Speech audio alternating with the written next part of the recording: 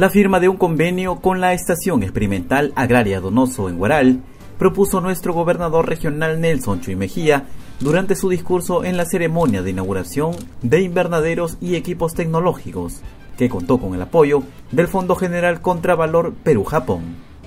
Esta estación, que tiene 37 años de establecida y cuenta con 36 años de cooperación japonesa, representa el espíritu de lo que es la cooperación técnica, pero también representa el arduo trabajo del equipo técnico de Linía y del propio sector agricultura, pues en esta estación experimental los sueños de peruanos y japoneses después de 36 años se hacen realidad.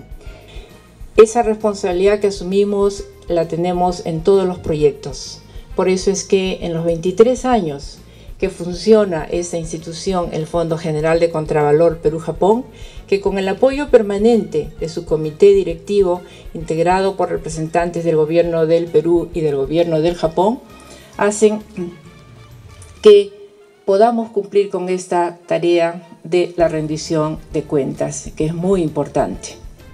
Una iniciativa que está enfocada a poner al servicio de los pequeños productores de la región Lima las innovaciones tecnológicas de la estación administrada por el Instituto Nacional de Innovación Agraria INIA a fin de potenciar la investigación agropecuaria, que actualmente solo favorece a hombres del campo de Guaral y Ancash, cuando la idea es que se esté al servicio de las nueve provincias.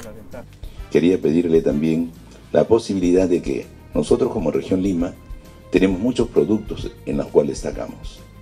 La fresa es uno de ellas. La fresa somos el primer productor de fresa a nivel nacional y me parece muy bien que trabajemos en productos que realmente podemos ser más competitivos y podemos exportar con mayor cantidad. Porque el centro de investigación en un inicio estaba para Lima y Ancash.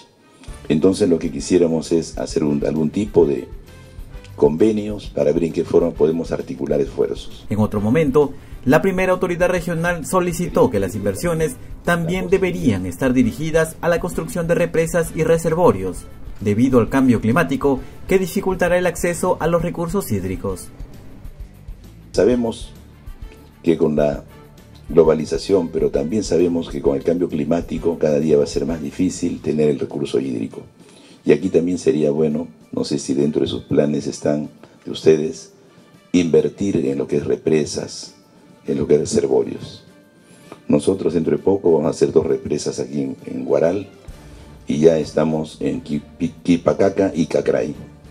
Son proyectos que no estaban dentro de nuestro presupuesto, pero queremos invertir en algo que va a potenciar sobre todo en la siembra y cosecha de agua. Nelson Chuy sostuvo que el gobierno regional de Lima ha planificado la ejecución de dos represas como es Quipacaca y Cacray, en la capital de la agricultura, en aras de reforzar la siembra y cosecha de agua, por ser fundamental para la existencia de las futuras generaciones. Yo creo que es un gran aporte del gobierno japonés y sobre todo ahora en la región Lima tenemos la oportunidad que muchos de los cultivos que, producimos, que producen nuestros agricultores puedan mejorar, eh, ser más competitivos, porque aquí este, con la investigación que hacen, primero ven variedades, cómo ver la forma de, de, sacar el virus de, de, las mismas plantas, en fin, cómo dar, dar el soporte eh, tecnológico y sobre todo de investigación y de capacitación a los pequeños productores. Entonces, esto es fundamental para mejorar la productividad y hacer más rentable la agricultura.